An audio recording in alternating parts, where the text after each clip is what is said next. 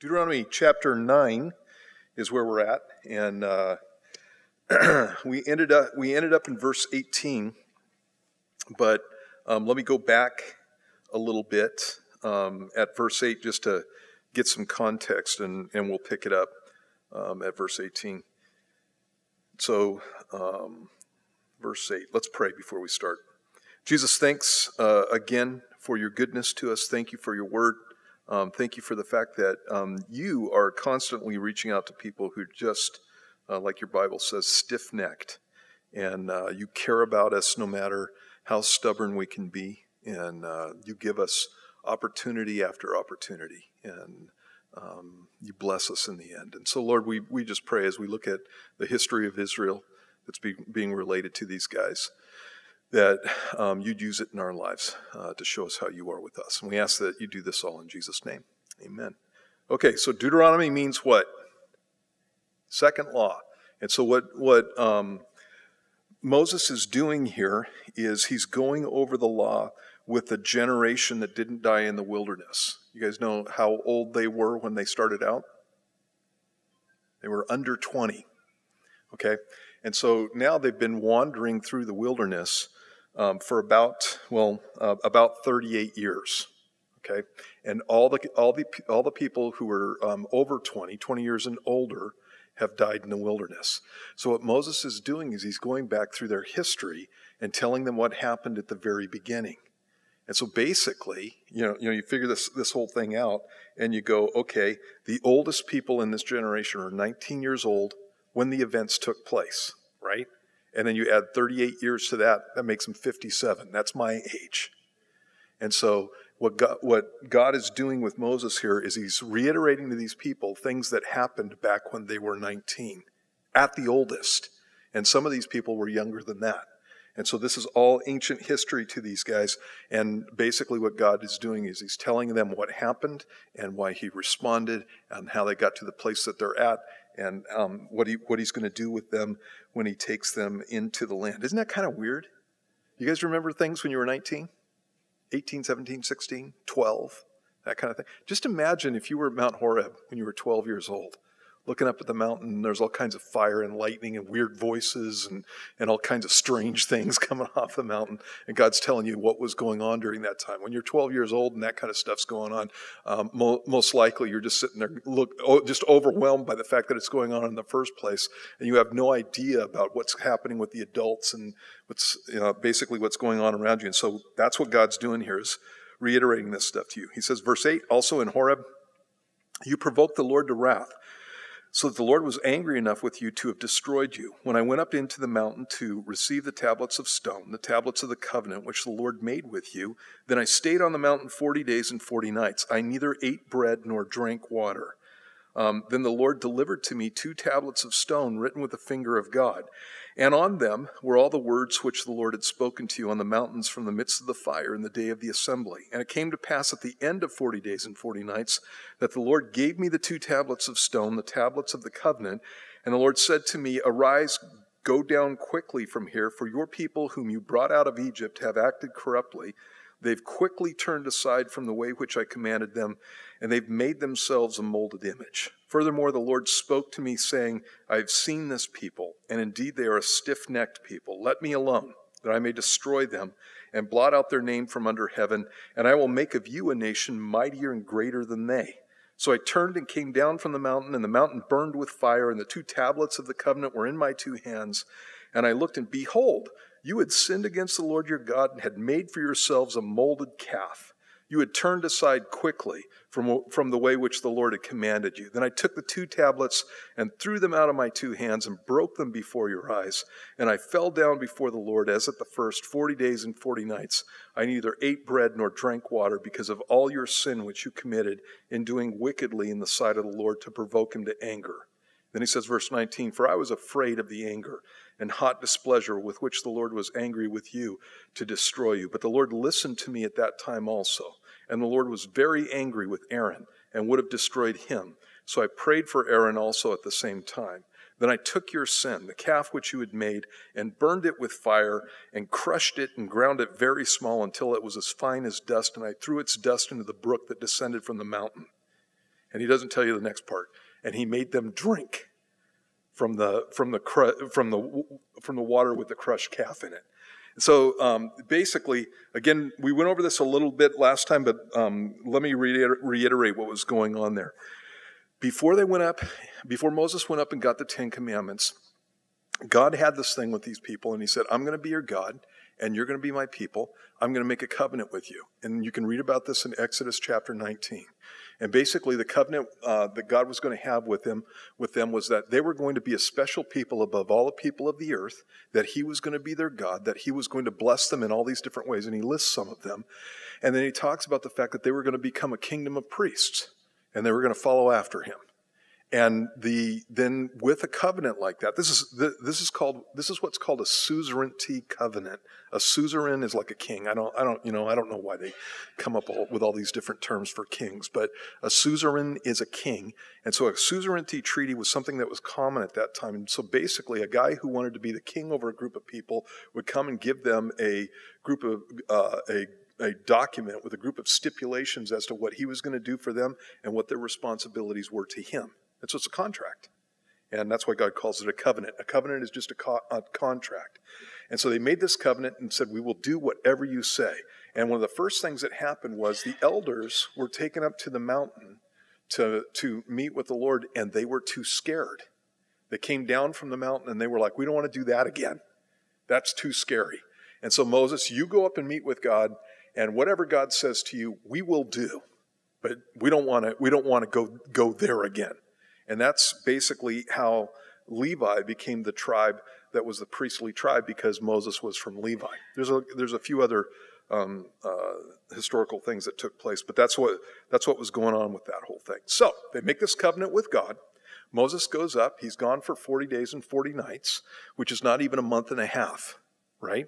He's gone for 40 days and 40 nights. Meanwhile, back at the camp, uh, what happens is they go, well, we don't know what's happened with Moses. He's been gone a long time. And so, therefore, let's make ourselves a God. And that's when they came up with the whole thing with making up a molded calf and beginning to worship it. And it, it sounds pretty, pretty silly, but you need to understand that before um, they were up, uh, before they were brought out of Egypt and before they come to Sinai, they were living in Egypt and they were acting like Egyptians. They were walking like the Egyptians, right? And so they're acting like them and they're doing the things that Egyptian, Egyptians did. And one of the things that Egyptians worshiped were cows. And that's why, you know, in the, in the uh, 10 plagues, one of the things that got plagued um, with the Egyptians was their cattle. And the reason that God picked out the cattle was not because he just hated cows or something. It's because he was going through and systematically hitting on everything that the, that the Egyptians worshiped, showing them that he was the God over everything. And he started with the Nile. They worshiped the Nile. And it just moved on from there. They worshiped frogs, they worshiped flies. Uh, the whole thing with lice uh, was the priests would shave their whole bodies to keep from getting lice. And in that case, they couldn't stop, you know, the, they couldn't keep the lice from being on them and they said, This is the finger of God. That's when the priests figured out what was going on. And it went on from there. And every single one of those things was a God to the Egyptians, including the firstborn. And what I'm talking about is the firstborn son of Pharaoh. Um, what Pharaoh was going to do was go after the people of Israel. And what God did was he took out the firstborn son of Pharaoh along with the firstborn of all the Egyptians, because there's another whole thing with that. The firstborn are always God's in the Old Testament whether it's the firstborn of animals or it's the firstborn of our children. It's, they're God's. They're, they're, they're dedicated to the Lord. And the Jews would redeem their sons, firstborn sons specifically. They would redeem their sons with silver. They still do that to this day. They go, they go down to the rabbi and they give him a piece of silver for their children. And so that's a, that's a pretty cool thing. And God's just taken what's his in, in one instance. In the other instance, he's judging the Egyptians because the Egyptians literally believe that their pharaohs were gods. And so, what God was going to do was show them that your Pharaoh is not a God. And the next Pharaoh in line, I'm taking him. He's mine now. And that kid's in heaven, of all things, along with um, most of the other firstborn, firstborn children of the Egyptians. In any case, um, when, when they get to Sinai, and God um, gives the covenant of the law to Moses, those are the things that the people of Israel have said that they were going to do. And, God, and God's already, uh, Moses had already told them what the commands were, were for God, and they agreed to those things. Everything that you say, we'll do. And if you go back in again in um, Exodus chapter 19 and look at the progression there, what happens when they make this agreement is that Moses takes blood from an offering and he sprinkles some on the book of on, on the books of the law, and then he takes the blood and he sprinkles it on the people. And when he's do, when he's doing that, what he's doing is he's making a blood covenant. And you see this in a, in a couple of different places in the Old Testament. Uh, one really notable place is with Abraham. And that, that whole story ties in with this chapter at the end. Abraham in Genesis chapter 15 was in a situation where he'd just come out of a battle and he'd uh, gained all kinds of wealth from the battle because he looted the armies. And um, the problem with that was he's just one man He'd gone with four, over 400 guys, but he was just one man. And these are, these are five kings that next spring are probably going to be a little bit torqued at him. And so he comes out, and God speaks to him, and he says, Abraham, don't fear. I am your shield. And that's a good thing to know because God's going to protect me, He's going to watch over me. And then he says, I'm your exceedingly great reward. And the reason that he says that is because what Abraham did with all the loot that he got from, from, the, uh, uh, from the battle was he gave it back to the kings of Sodom and Gomorrah. What had happened was these five kings had come down and taken Sodom and Gomorrah captive, took off with the people, took off with all their loot. And when, when they were coming back, uh, the king of Sodom said, You can have all the loot. Thank you for saving me. And, and Abraham said, I'm not going to take your money.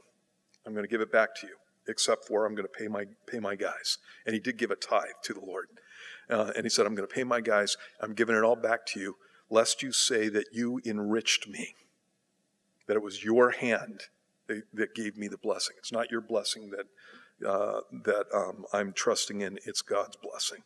And when Abraham gave that all up, God said, I'm your exceedingly great reward. And this is what Abraham said to him. Um, and I'm paraphrasing I don't need a reward because I don't have anybody to give it to.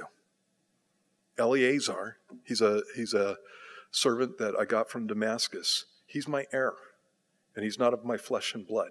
And what Abraham was saying to God was, You promised me years ago that I was going to have a son, and I haven't seen it. And there's no point in giving me money because I, you know, I, I don't, I have no one to give it to. And God um, told him, he reiterated again to him that he was going to make a covenant with him, or that he'd made a covenant with him. He'd made a promise to him that he's going to have a son, and that his descendants were going to be like the stars of the, of the heavens in number, right? And Abraham pushes it with God, and he goes, God, make me a covenant. And God goes, okay. And what Abraham's, what Abraham's looking for is a blood covenant. And so God says, "Go prepare the covenant, go prepare the go prepare the sacrifice, and I'll meet you." And so he goes up and he prepares a sacrifice, and there's a number of animals that um, he offers up, and then he cuts them in half, and he lays them on the ground, and then he waits for the Lord. And God's late. And what God does is he puts Abraham to sleep. He makes him really drowsy, so he's leaning against a tree and he goes to sleep, and then Abraham wakes up. And when he wakes up, what he sees is a burning furnace. It's the Shekinah, it's the glory of God, going through the midst of the pieces and proclaiming the covenant. And what was supposed to happen in Abraham's mind is that that was a representation of God going through the pieces. Abraham was supposed to walk through the midst of the pieces with him. And, and the, the picture there is um, I make a covenant with somebody, I walk through the sacrifices of the covenant, and I make my promises to that man or, or to that woman. And at the end of that, um, a blood covenant in that instance, what is supposed to happen is if I break that covenant or the other person breaks the covenant, then what happened to the sacrifices is supposed to happen to me. A blood covenant means if I break it, I, I am to be put to death. That's what a blood covenant is. And so, what God does with, does with Abraham is he refuses to let him go through the pieces, puts the guy to sleep, and goes through the pieces on his own. You ever wonder why God continues to be good to Israel, even though Israel over the years has been unfaithful to God? The reason that he does that is because he made a covenant with Abraham that he was going to bless him and he was going to make him a great nation, and that nation was going to be a blessing to all the peoples of the earth. That's the reason. So it all goes back to Abraham's covenant, and that's blood covenant. It's exactly what Israel did with the Levitical covenant. Levitical covenant is a covenant with the law. And so blood goes on God's part, blood goes on the people's part, and at that point, if they break the covenant, what do they deserve? Death. And that's what happened. So, mo- not even a month and a half into it, they bust up the covenant and they decide that they're going to, instead of worshiping God, they're going to worship, you know, Bessie the cow. And, you know, and off they go. And so, God has just written the Ten Commandments with, with his fingers in tablets of stone, given it to Moses. And Moses says, actually, um, it was Joshua who was up on the mountain with Moses, and he says, There's a sound of war in the camp.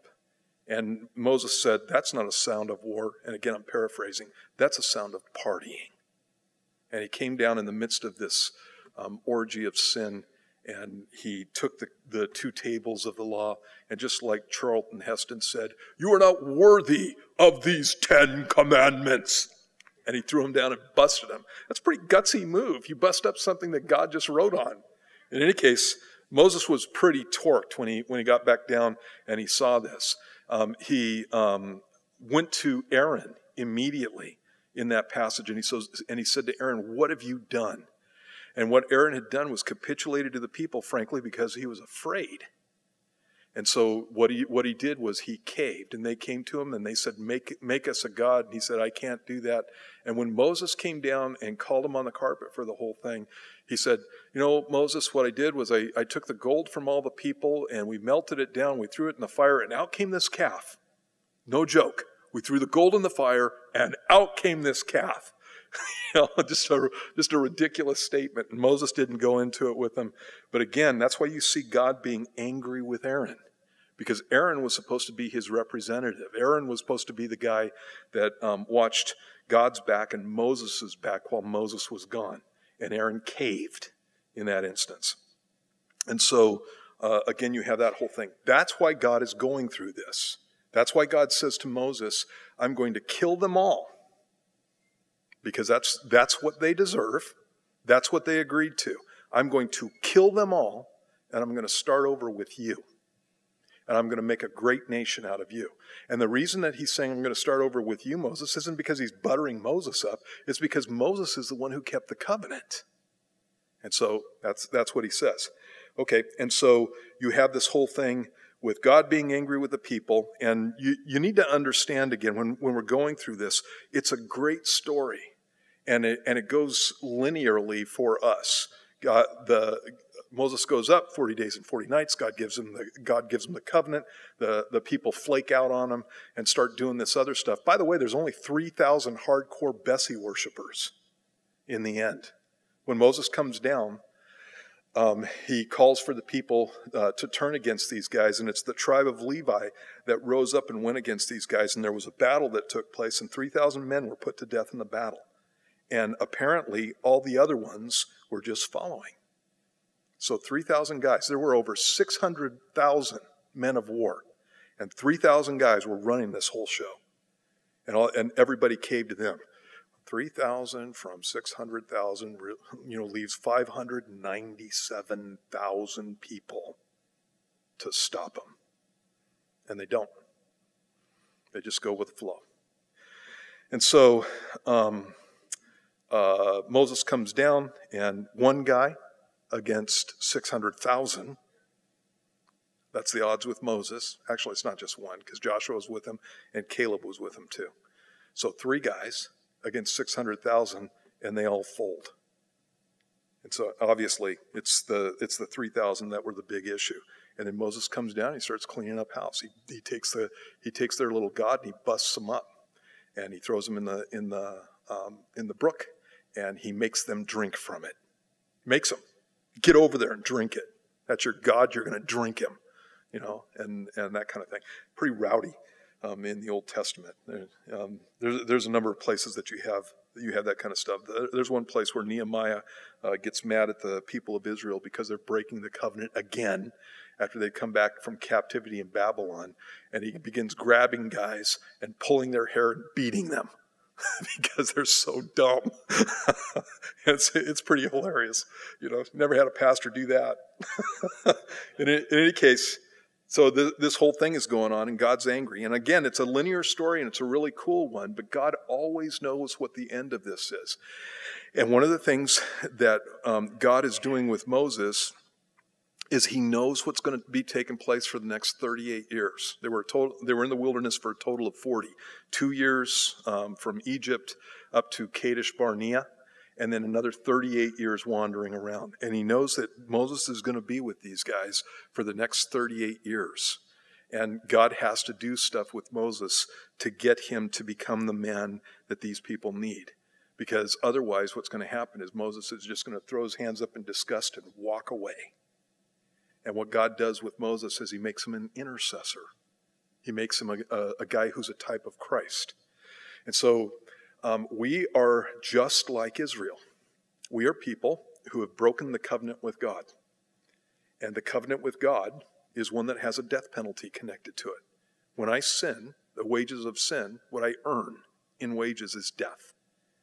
Um, but what happened is Jesus, the guy who never broke the covenant, intercedes for me. And he comes before God and he pleads my case.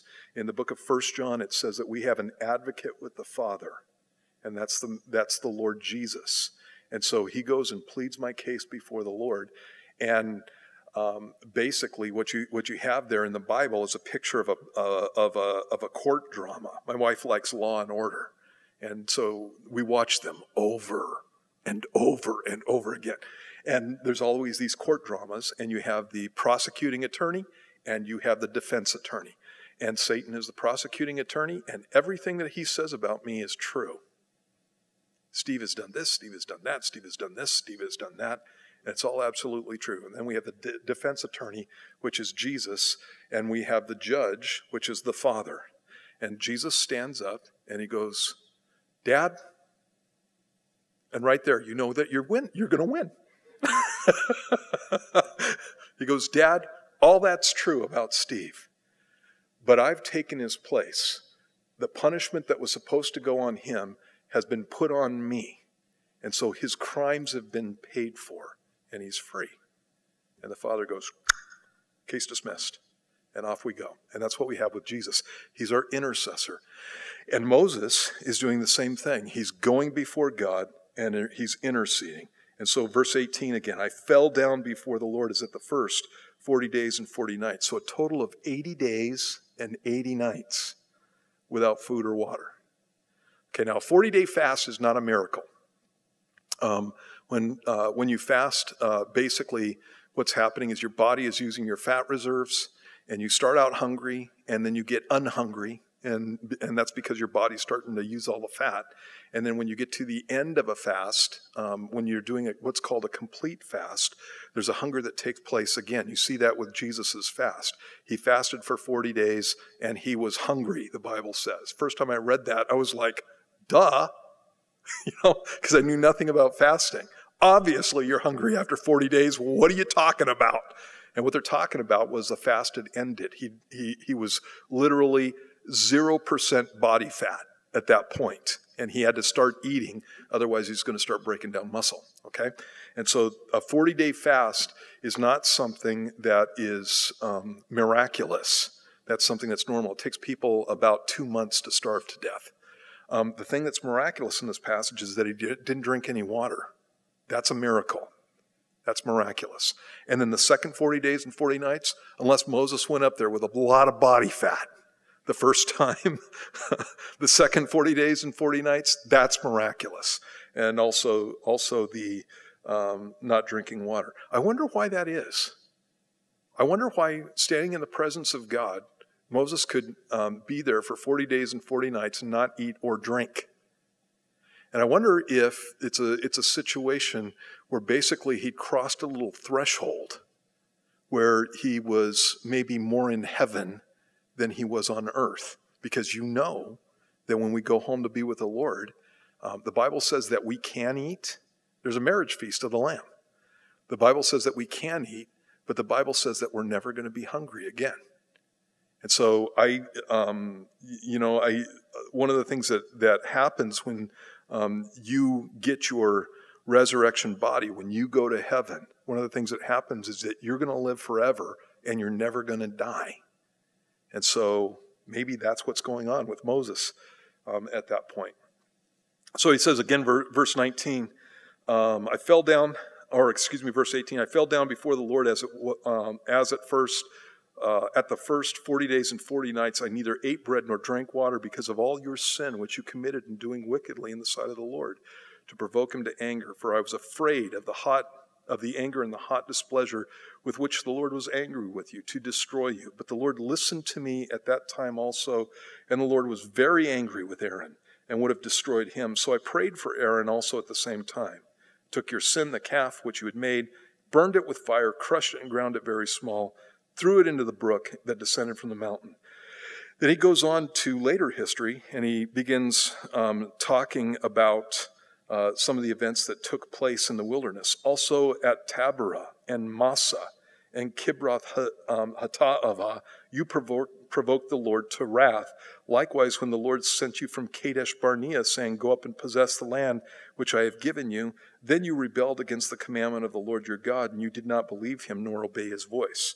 So, repeated rebellion of the people of Israel. Now, um, you know, I just said these words to um, Taberah, Massah, uh, Kabaroth Hattaavah, um, they provoked the Lord. Here's what happened at Taberah they complained.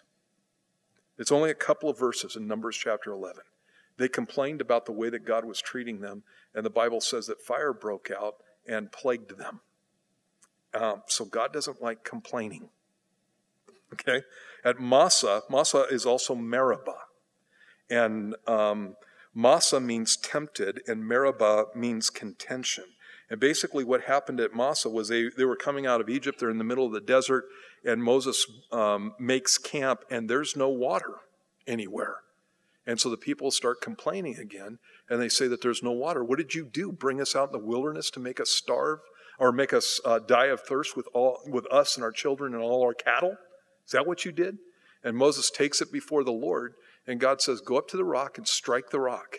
And when you strike the rock, water is going to come out and it's going to wa- and, and it's going to uh, give water to all the people. When you get to the New Testament, we talked about this last week. When you get to the New Testament, you find out that the, that the rock is Jesus. And actually, this whole thing with the rock is what kept Moses from going into the land because it happened twice.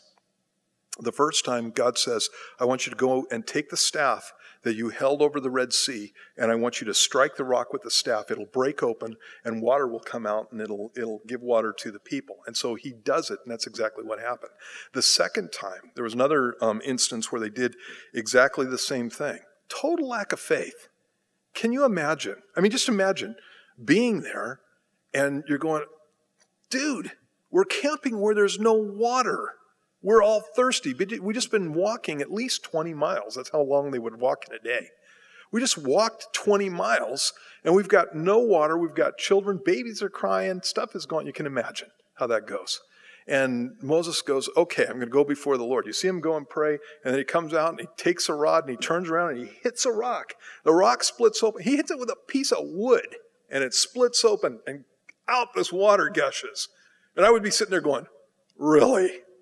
Wow. At that point. Then they get later on in the wilderness, and this is years later, and there's a history. And you have a whole group of people who've been griping and moaning and complaining for, you know, for decades now. And they do they run into the same thing. They're you know, they're making camp and there's no water. And they begin complaining against Moses, and Moses goes to the Lord, and God says to him, Let's do this again, only this time I don't want you to strike, strike the rock. I want you to speak to the rock. And Moses goes out and he and basically this is the this is the speech that he gives to the people. How you guys always gripe, you always complain. How often do Aaron and I have to do miracles for you? Were Aaron and Moses doing the miracles? Yeah, no, it was God. And then he's all ticked off, and you can see why he's ticked off. I, you know, I totally understand Moses. If I, if I was, you know, in in the wilderness with that group of people, um, I would, I would just throw my hands up and turn and walk away, and just leave them out there in the wilderness. Just go take care of yourselves, because I'm done with you. And uh, you know, to Moses' credit, he doesn't leave, so he's frustrated. And what he does is he goes out and he goes, "Do I need to do this again?" And he turns around and he hits the rock, and water comes out just like God said. And then God, then God goes, Moses, come here. And he wants to have a little talk with him. And so he goes off and takes him, takes him back and basically says, You know what, Moses, I wasn't angry with those people. And you, you misrepresented me, and you didn't do what I said. And so because of this, you're not going into the land. And it doesn't look like a big deal until you start putting Jesus in there. And when you put Jesus in there, then what happens is the rock gets struck the first time, that's the crucifixion. And it was at the crucifixion, because of Jesus dying on the cross, that I get the water of the Holy Spirit. I get everything that I need to fill my life. Jesus, you know, on the last day of the Feast of Tabernacles, said, Come to me, and rivers of living water will spring up out of your innermost being. And he was, he was talking about this, this whole event that's what that what's that's what the end of the feast represented. They would take a, a pitcher of water down from uh, the uh, a pool in uh, Jerusalem, and they'd walk it up to the temple, and they would pour out this pool, praising God for His provision of water in the wilderness. And Jesus was going, "I'm the guy who provides the water. I'll give you the water of the Holy Spirit." And um, when you put it in those terms, the water of the Holy Spirit was given to us when Jesus was struck. And after Jesus is struck, you don't have to strike him again. All you have to do is ask. And Moses wrecked the type. God never told him that he wrecked the type. He never told him the whole story. Um, I imagine that you know when he died and went home to be with the Lord, that he that he got he, he got in on the whole thing at that point. But he never told him the whole story, and we don't find out about it until we get to the New Testament. And uh, God doesn't like you messing with his types. He's pointing to Jesus.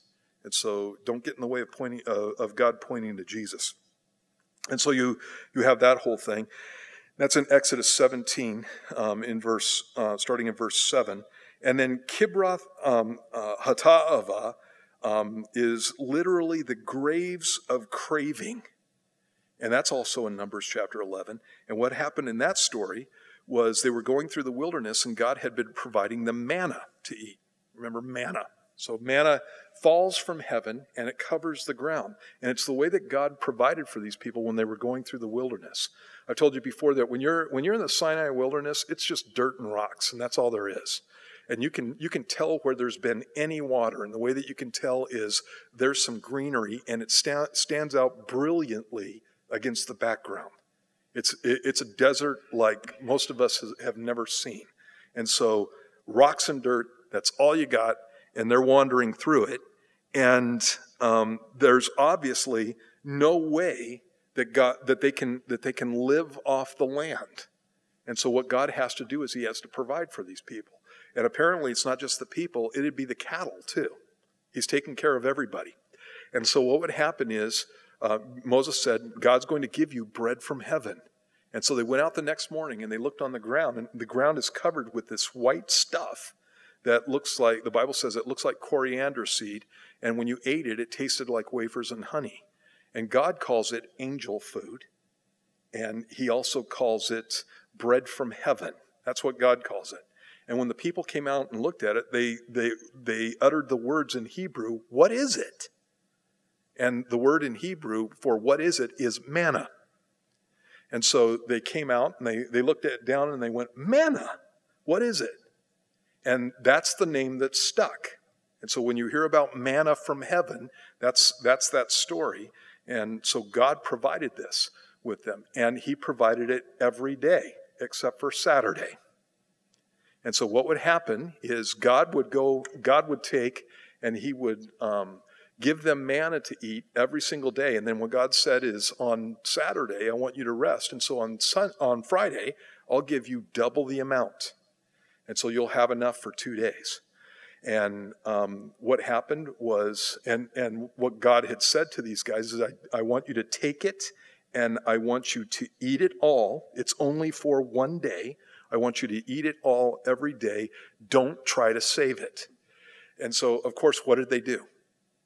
Yeah, they tried to save it. And when they did, it, it was full of worms and it rotted in just a day, right?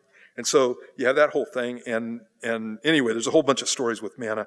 In any case, they'd been out there and they'd been eating manna. And you know how it is when you eat exactly the same thing every single day over and over. There's, there, there have been times when I've been poor and it was nothing but beans. And so, what are we going to have today? Well, we're going to have beans. And what are we going to have tomorrow? Uh, we're going to have beans. What did we have yesterday? We had beans. And so you try to figure out all the different ways to, to, to make beans and pretty soon you never want to see another bean for the rest of your life. Same thing with rice. Uh, we eat rice every day, and we, we eat rice with milk and sugar on it. We eat rice with, you know, there, I, when, I, when I was a kid, we would eat rice for supper. We would eat rice, rice for breakfast and, and uh, that kind of thing because it was cheap, right? And so you eat the same thing over and over, and pretty soon you get sick of it. Well, that's what these guys did. And it said specifically that the mixed multitude were the ones that were complaining. Yeah. What's that? Yeah, I still like beans. I still like rice too. Um, not as much as beans. But anyway, um, they, uh, the mixed multitude were the ones that began the complaining. Um, and what that's talking about is when they came out of Egypt, it, just, it wasn't just the Hebrews who came out of Egypt. Some of the people that came out with them were people who were from Egypt, they were Egyptians. And so they aligned themselves with the Hebrews and they took off. And many times that was the group that was doing the griping. And one of the things that you need to remember um, in, in your walk with God is that anytime you go to church, doesn't matter what church you're in, there are going to be the people who are the real deal, and then there's going to be the mixed multitude. And the people who are the real deal aren't going to be the ones doing the griping. It's going to be the mixed multitude. Mixed multitude starts the griping, and then a lot of times they can get the real deal to join into the whole thing because it sounds reasonable. So the griping begins. What is this manna? It's become detestable in our sight. You know, every day I have to eat manna. I eat manna burgers. I eat banana bread. I eat manicotti. It's manna, manna, manna. You know, and all that, all that stuff. When are you going to give us some meat? Is what they say to Moses. And again, Moses is sitting there going, you got, you got a miracle every day, and you're griping at me. And now you want meat. And so he goes to the Lord, and the Lord had overheard the conversation. And I'm just giving you the, the short version. You go back in Numbers 11 and read it. It's hilarious. Um, what God says to them is, okay, I'm going to give them meat. And I'm not going to give them meat for a day. I'm not going to give them meat for three days. I'm not going to give them meat for a week. I'm going to give them meat for a whole month. I'm going to give them meat until it comes out their nostrils. That's a quote from God. I love God. He's so hilarious. You don't like what I'm providing for you? You want something else? I'm going to give it to you. Here it comes. And so they, they go out and um, basically what God does is he causes this, not a, it's the hugest covey of quail that there has ever existed. And this, this covey of quail comes out and it just literally fills the horizon. And these guys go out and they're clubbing the, the quail. They go out and they're, they're just, there's so many quail that they can just swing a bat and they're taking them down. And um, so they go out and they're, they're all excited about it. And apparently, the Bible says that some of them took the quail, picked it up, and bit into it. It looks like they were eating it raw. You know what, what one of the commandments of God was? You don't eat meat with the blood in it. And so they pick up the quail and they start eating it raw. And then again, a plague starts coming out on these guys. And you got to remember that, that one of the things that God was doing with the plagues is trying to shorten the period of time that the kids under um, 20 had to spend in the wilderness. And so uh, a plague comes and, and begins uh, again dealing with these guys, and that's why it's called the graves of craving. And again, what, what, what you have when you go through and um, those three instances, Taberah, uh, Massah, and Kibroth Hattaavah, are all things that have to do with being dissatisfied with the provision of God, complaining about the things that God is doing for you. And you know, um, I I love the Old Testament. I spend uh, you know a lot of time in it, and and um, it, it's one of those things that is a great um, instrument for getting your head straight with the things that God's doing. When uh, again, when I look at my life as a Christian, I don't, be- I don't, I don't belong here in the first place. The fact, the fact that God saved me and He brought me into a relationship with Himself, that that's just uh, totally over the top. And the fact that I'm going to live forever, that's you know, literally, it's I don't need anything else. You know, God could say, I've saved you, you're going to live forever, done. I'm not going to talk to you until you die. When you get here, we'll, we'll start a conversation, okay, Steve? But He doesn't do that. What He does is He enters into my life, and every single day He's guiding me and He's using me. I'm, I'm, I'm not somebody who's made a contract with Him, I'm a son. He's brought me into His family, and now He's treating me like, he, like He's my father. And um, he, what He's doing is He's, he's giving me blessings left and right. I'm going I'm to tell you about my, my kid. And I don't, seriously, well, this is going to get out. I understand it's on tape and all of that stuff, but don't go up to him and talk to him about it because um, because you'll embarrass him. And, and so I kind of maybe shouldn't say this, but that's okay because he's a good illustration. My son um, is very, he's a very thankful guy. I like it about it. It's one of the things that, that I really like about him. Um, he goes out and you get, you know, he, he's all, he always has a job. He's always working hard and he likes to take care of himself. And I have to force him to take, to take money from me. I have to make him do it. And when I, when I do it, I'm like, you know, he's like, oh, I got to go get some gas. Do you need some gas? Here, let me, let me give you. He goes, no, dad, you don't need to pay for me all the time. And he has that kind of attitude. I don't want you to pay for me all the time. I can do it myself. You give me enough. I'm living here, you know. You bless me left and right, and I don't need all this stuff. And I, I force it on him anyway. It's a, it's, a, it's a great thing about him. He almost never complains about anything. And it's because he's thankful. And he's a blessing to be around. In fact, the, the fact that he is so thankful for the things that I give him, you know what it makes me want to do? Yeah, give him more. He's probably manipulating me. no, he's not doing that. And I have, I, you know, I have to force him to do it. Um, he came up to me yesterday, and um, uh, he said, "You know, I'm I'm going to go to Taco Bell. I'm having a burrito craving." And uh, he, lets us know where he's going to go. And I go, um, "You got any money?" He goes, "Well, yeah, I got money. I'll, I'll go take care of it." I go, "No, you're my kid. I need to take care of you. Here, take my debit card." And he, and then I go, "You got any gas in your car?"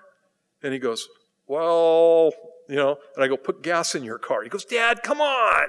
You know, and he does that whole thing. And, you know, he gets it. He, he stops arguing with me because I'm going to win. I'm going to make him do it.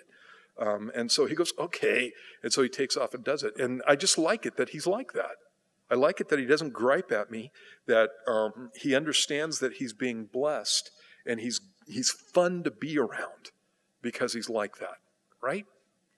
You know, pe- people that you do things for and they just gripe all the more? Are they fun to be around? Do you want to do anything else for them? Yeah, so keep it in mind when you're dealing with the Lord. You know, God's being, God's being good to you. God's been good to me. All the rotten stuff that, uh, for the most part, all the rotten stuff that has happened in my life has been Steve centered in the sense that I caused it. And I'm just getting the consequences from the things that I've done. It's not something that's come from God. And what God does is He overrules much of the junk in my life, and He just watches out for me. Give you another, give you another illustration. Um, when I was backslidden, I was backslidden for about nine months, and and again, I wasn't. Um, it was in Southern California. It was during the Jimmy Carter days, and so um, uh, the economy wasn't going very good at that at that period of time. I'm not blaming it on Jimmy, but the economy wasn't going very good at that time, and so work was on and off, and I was barely making it. And so um, uh, during that during that period of time, I wasn't following the Lord, and so I was just doing whatever. And I, you know, I got some speeding tickets, but most of my tickets were just cops pulling me over for whatever. So I'd have a tail light out, and they'd pull me over, and give me a fix-it ticket, and it happened over and over again. And you know, I'm just I'm just a, a teenager, and um, I don't. Um, you know, I was thinking about it the other day. I'm, yeah, I was just pretty stupid in a lot of areas. And so they give me a ticket, I'd be like, great. I can't pay this ticket. I don't have any money to pay the ticket. And so what I do with the ticket is, and I'd stick it in my glove compartment, and I would just leave it there and not worry about it until I got a notice in the mail.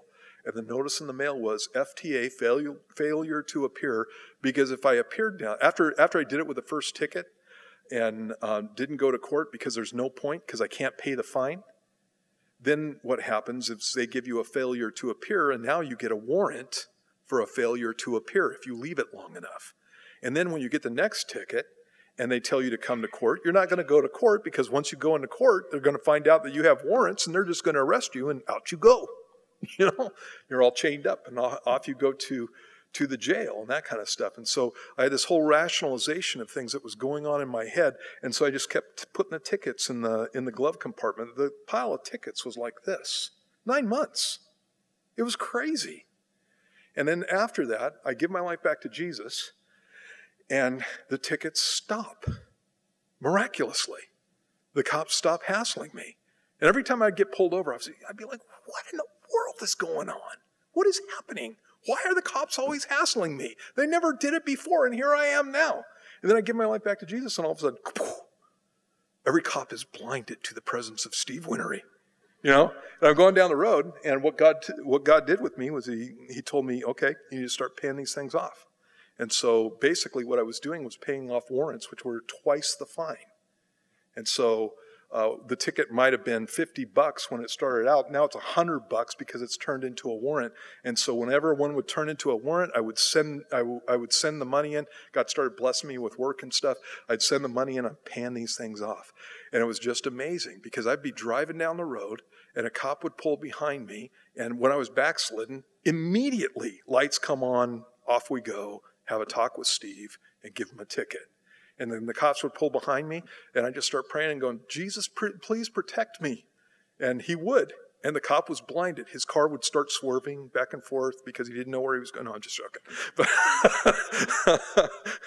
and and I and and he wouldn't pull me over. And that happened over and over and over again. God was God was taking care of my needs in that instance until I disobeyed him once. And this one time I disobey him. Oh, I'm going to get in. I, don't want to get in that whole story. I'll give you the short version. This one time I disobeyed him and I got some extra money. And what I'd been doing was every time I got extra money, I paid off fines. And so the, so the pile got less and less. I, uh, to this day, I have no idea how many I had. It's thousands and thousands of dollars is what I paid in fines. I was paying them until I was, that, that whole, that whole um, situation took place from the time that I was 18 uh, to about seven months into my 19th year. So from, from the time I was 18 to the time I was 19, I paid off my last ticket two years after I was married when I was 24. And so it took me that many years to pay these things off. And um, this one time, instead of taking the money and giving it, giving it to the state for my ticket, I can't remember what I did, but, but I, but I just went and bought something for myself. And, you know, kind of took a vacation from responsibility. And as soon as I did it, God said, that was not our deal. And um, a, a, couple of days later, um, I got pulled over for the first time since I've been walking with the Lord. Uh, they knew that I had a warrant and I went to jail. And, and, so there was this whole thing, and it's another whole story. It ended up being a real cool thing. But in any case, we need, you know, God watches out for you even when you've messed up, and and He protects you. And so, you know, when you're when you're when you're looking at this whole thing, you need to understand that God is providing for your needs. And He's doing it many ways in things that you can't even see. So it's a blessing to be here. So, so don't be somebody who gripes. And when you don't have enough water or whatever, you just go to the Lord and you ask Him. And God's a good Father, and He'll take care of you. He wants to bless you more than you want to be blessed. And then, obviously, when God does bless you, God's literally giving them angel food. So they're eating angel food every single day. And that's where angel food cake came from, too. And so they're eating angel food every single day, and then they're griping about it. That's crazy. And so you have that stuff. In any case, um, goes on, and that's all in those three words. Verse 23 likewise, when the Lord sent you, from Kadesh Barnea saying, Go up and possess the land which I have given you. Then you rebelled against the commandment of the Lord your God, and you did not believe him nor obey his voice. You have been rebellious against the, rebellious against the Lord from the day that I knew you. Thus I prostrated myself before the Lord 40 days and 40 nights. And you know about Kadesh Barnea. What they did was they decided that they wanted to send uh, spies into the land. So they send 12 spies into the land, one, one from each one of the tribes of Israel. And Judah, or excuse me, Joshua and Caleb were two of the spies that went in.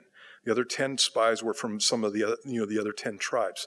They go in, they all came out. Um, actually, I need to back it up. They come up with this idea we need to spy out the land. And God takes, or Moses takes it before God, and, get, and God says to them, What the people have said is good. Go ahead and do that. And so um, God, in his permissive will, allows them to spy out the land. And how'd that turn out? And the way it turned out was these guys go into the land and they see literally that it's a land of milk and honey. That God, it's a it's a land that's been blessed, and they bring out a cluster of grapes that just that's just crazy huge, and um, they show it to the people. They literally bring the grapes to show to the people this stuff, and all the people are like, "Wow, look at those grapes!" And then the then the then the ten spies start bringing in the bad news. There's giants in the land, and they mean giants. We talked about that earlier on in Deuteronomy, and um, they said that you know this is not going to work. We're not going to be able to conquer the land. And they brought a bad report, and they discouraged the hearts of the people to the point where all the people start again complaining about what God has done with them, and they specifically charge that God has brought them to the land of Israel so that he can kill their children. You've brought us here so that you can kill our children. And that's why God says, You're not going in, but your children are, because you said that to me. And so the next 38 years is God waiting for these guys to die off. And there are instances where they rebel against him, and so he makes it a little quicker, to be frank, with the whole thing. And that's out of grace for the kids. And so again, verse 24, Moses says, You have been rebellious against the Lord from the day that I knew you. Thus I prostrated myself before the Lord 40, night, 40 days and 40 nights, and I kept prostrating myself because the Lord had said he would destroy you. Therefore I prayed to the Lord. You know what 40 is? It's the number of judgment. Whenever you see the, the, the number 40, it's all about judgment. It's all about trial. It's all about judgment. Um, how long did it rain when Noah was on the ark? 40 days and 40 nights. You have the same thing with Moses. You have the same thing in another other stories in the Old Testament. He says, Therefore, verse 26, I prayed to the Lord and said, O Lord God, do not destroy your people and your inheritance, whom you have redeemed through your greatness, whom you brought out of Egypt with a mighty hand. Remember your servants, Abraham, Isaac, and Jacob. Do not look on the stubbornness of this people or on their wickedness or their sin, lest the land from which you brought us should say, Because the Lord was not able to bring them to the land which he promised them, and because he hated them, he's brought them out to kill them in the wilderness. Yet they are your people and your inheritance, whom you brought out by your mighty power and by your outstretched arm. And so when Moses intercedes for these people, there are a couple of things that he does. Um, the first thing he, that he does is he references Abraham, Isaac, and Jacob. And the reason that he's doing that is because of that blood covenant that I was talking about at the beginning of the study. You made a covenant with Abraham, and that covenant said that you were going to make Israel a great people, and that you that you were going to bless them with land and nation, and the fact that they were going to be a blessing to all the peoples of the earth. And you remember, Lord, and basically, Moses didn't go through this whole thing with him, but basically, if Moses was arguing the case, he would say, You remember, Lord, that Abraham didn't go through the pieces with you. It was you yourself. And the reason, again, that God did that whole thing was because if Abraham, if Abraham had gone through the blood covenant with God, then it would, be, would have been based on Abraham's performance. But because God was the only one who went through the pieces, it's only based on God's performance, and Abraham has a pass. It's just a flat out promise to the people, to Abraham and to his descendants, that God was going to bless him. And again, that's why despite the fact that Israel, many times throughout their history, and even today, can be in rebellion against God, God continues to bless these guys because it's not based on what they said, it's based on what He said. Where with, when you're talking about the covenant with the law, it's a covenant that's based on what they said and what God said. And so when they break the covenant of the law, Moses backs it up and goes to the covenant with Abraham and says, We have another covenant. Remember Abraham, Isaac, and Jacob. And then the other thing that he does is he talks about God's glory. God, they're going to ridicule you. God, they're going to they're, they're going to make fun of you. They're going to say that you brought us out into the land. You brought these people out into the land to destroy them because you hated them. And so God, uh, Moses is protecting God's glory. And when Moses goes to the Abrahamic covenant, what God says is okay. And what he does, what he does with Moses is he forces him to the one covenant that can save the people without the people's performance. He forces them to that. And this is exactly the same thing that we have um, with Christianity today. There is a real temptation with believers to go back to law, to make it all about rules and regulations. And you know me. I will talk about the rules and regulations, and I'll talk about a walk with God where you're obedient and that kind of thing. But my obedience does not, does not get me into heaven. My obedience does not get me a relationship with God. My, my obedience needs to be an act of love because God's already given me heaven and because God's already been good to me. That's where my obedience needs to be coming in. But, uh, and again, there needs to be obedience. But what God is doing with Moses is he's showing them that your people and you, Moses, are not coming into the land. They're not getting the things that I promised them because of their obedience, because they're nothing but rebellious. They're stiff necked people. The reason they're coming in is because I made a promise and I'm good and I keep my word. And it's exactly the same thing with us. God makes a promise to us, He's good, and He keeps His word. And that's why we're going to heaven, not for any other reason. And so you just always need to remember that. And that'll keep you from getting legalistic. But then on the other hand, because God is good and He's always kind to me, I would be a, a um, unthankful punk to not do the things that please Him. And again, that's why we walk in obedience to the Lord. And so you have that. In chapter 10, um, you have God going through and um, uh, reiter- or Moses going through and reiterating God's mercy on the people of Israel. I'm watching the clock. It says, At that time the Lord said to me, Hew for yourself two tablets of stone like the first, and come up to me on the mountain and make yourself an ark of wood. And I will write on the tablets the words that were on the first tablets, which you broke, and you shall put them in the ark. So I made an ark of acacia wood hewed two tablets of stone like the first, and went up to the mountain, having the two tablets in my hand. And he wrote on the tablets, according to the first writing, the Ten Commandments, which the Lord had spoken to you in the mountain from the midst of the fire in the day of the assembly, and the Lord gave them to me. And then I turned and came down from the mountain and put the tablets in the ark which I had made, and there they are, just as the Lord commanded me. So, who made the ark of the covenant? It's Moses. Moses made it. Moses literally crafted the Ark of the Covenant. If they ever find that thing, that's pretty awesome. Because what you're going to have is a, it's nothing but a box that's about this long and it's about this wide. It's nothing but a box. It's overlaid with gold. And so it's an expensive box. But it's just a box made out of acacia wood, and Moses is the one who crafted it. I really hope that they find the Ark of the Covenant again before we go home to be with the Lord. I think that, that would be really cool you know, because they're going to put it in some museum. Uh, actually, they'll, they'll, end up building the temple and stuff to house it. But the but if they find it, it's going to be in a museum for a period of time. Uh, we go over to Israel about every couple of years, and so we'll we would go and see it. And when I first see that, if they find this thing, I'm going to be looking at it. I'm just and what I'm going to be thinking about is Moses' hands were on that thing. That's pretty wild. That's pretty wild. In any case, he builds the ark of the covenant, the, the ark out of acacia wood and um, he puts the two tablets into the ark. Um, acacia wood, let me, let me just do this with you real quick and, and then I'll let you out of here. Um, there is a whole symbology in this whole thing again. And so you have the covenant of the law. And whether you're in the Old Testament or you're in the New Testament, it says that sin is lawlessness.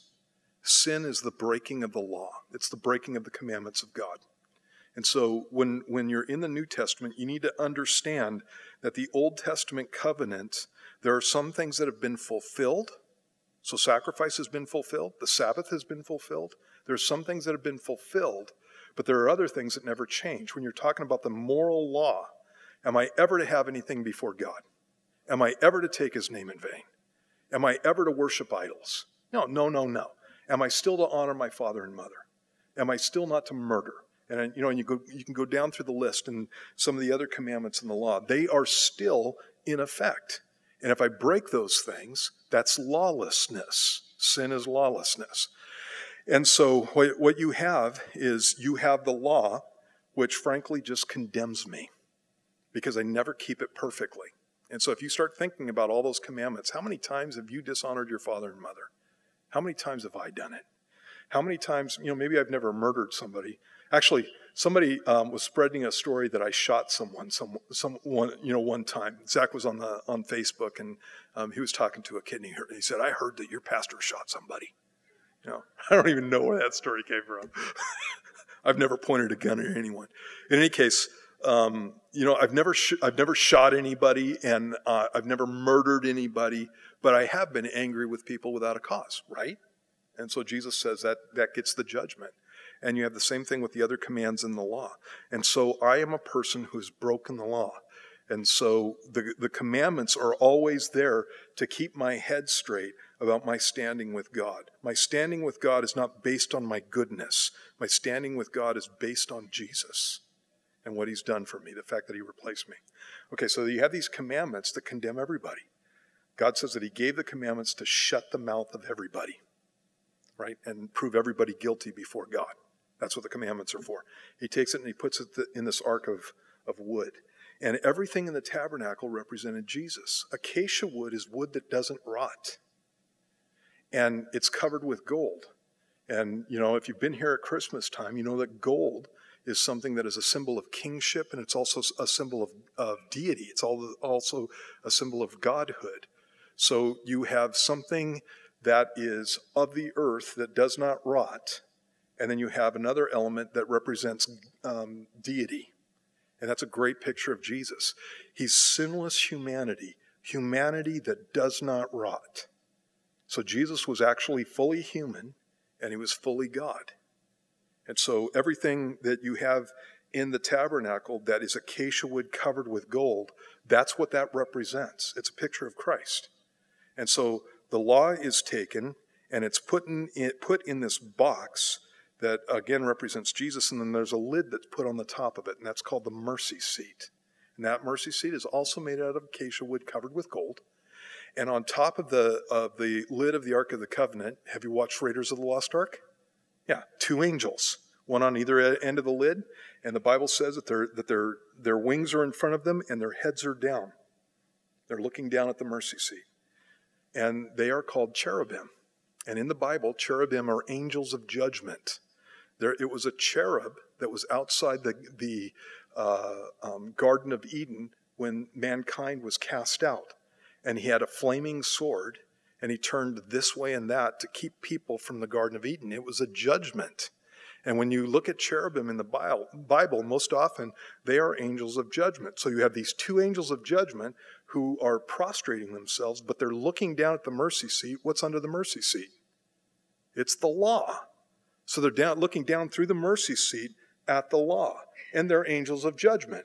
And so they see the law, they see what the law says, and the angels of judgment would also see that Steve Whinery does not keep it. The angels of judgment see that. But then, once a year, the high priest comes in and he brings the blood of a sacrifice, the, the, the, blood, of a, the blood of a goat. And he brings this sacrifice in and he sprinkles it on the mercy seat. And so now what you have is the angels of judgment looking down at the law, but between them and the law, there is the blood of a sacrifice. And that sacrifice is what saves me. That's, that sacrifice is what keeps judgment come, from coming down on me. And so you have a guy who's a type of Christ building a box that's a type of Christ, um, putting angels on it that, that are a type of the judgment of God. And then in the end, it's going to be covered with blood that is also a type of Christ. And it's a great picture of where, again, where our standing is with God. The law is not something that does not apply to me. The law is something that has been covered with blood that covers me. And that's why we're right before God. So leave you with that. Isn't that good stuff? Yeah. Let's pray. And Jesus, thank you again for the, the fact that you're a sacrifice that's sufficient. You're a sacrifice that um, takes away every penalty for my sin. I have, I have a complete and full standing before you and before the Father because of what you've done for me. And Lord, even that whole sacrifice, even that, even that whole system is something that the Father planned from the beginning of the earth, um, from the beginning of time, literally. It's something that you always had set up so that you could save your people. Thank you, Jesus, for the fact that when we come to you, we come to you on the basis of your grace. We come to you on the basis of a promise that was made thousands of years ago. And um, the promise is an unconditional one. Um, we have a covenant with you, and because of that covenant with you, we have a standing with you. Lord, help us to walk in that. Help us to be grateful people. Help us to be people who don't complain and gripe about everything that you do for us. And uh, just people be just be people who um, love you uh, for the sake of the fact that you're worth loving. And we ask that you do this all in Jesus' name. Amen. You know, one, one other thing before you go that I, I didn't um, uh, illustrate when we were going through the uh, Abrahamic covenant. The only reason that you and I have a standing with God is because of, por- because of a portion of the Abrahamic covenant. And the portion of the Abrahamic covenant that we come into a relationship with God in is the one where he said he's going to bless all the nations of the earth through, through Abraham's seed. Paul says in the New Testament that the seed was Christ. And so you have Abraham, God makes this covenant with him. It's unconditional. You're going to get land, you're going to get nation, you're going to get a blessing. And one of those blessings is that one of your descendants is going to be a blessing to all the nations of the earth. And so I don't come into a relationship with God under the law. I come into a relationship with God under the Abrahamic covenant. The law is a conditional covenant, the Abrahamic covenant is an unconditional one. And so Christ has, has paid the price for my sin. There is still sin, there are still standards, but I don't live under the law. I live under the covenant of Abraham. And it's something that, again, you need to keep in mind. A lot of times people get sidetracked and go to the law and think that they're, that they're supposed to uh, be doing everything that's found in the law. And the law was never for that. The law was, was to drive us to Christ. And Christ is the one who brings us into a relationship with God. Isn't that cool? God bless you.